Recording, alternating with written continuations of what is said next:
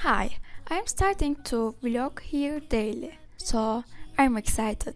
My native language is not English, so I will make many mistakes. Please let me know my mistakes in the comments because I want to fix them. If you're ready, let's get started.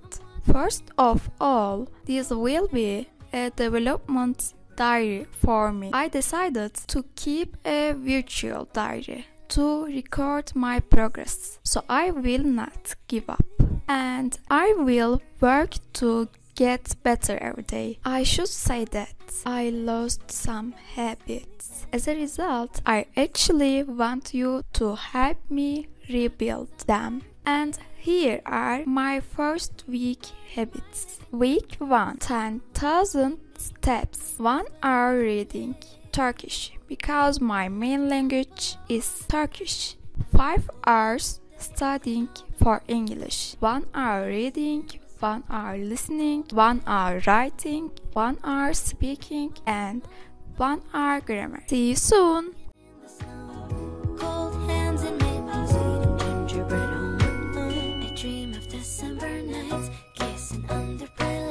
Snowflakes in my head,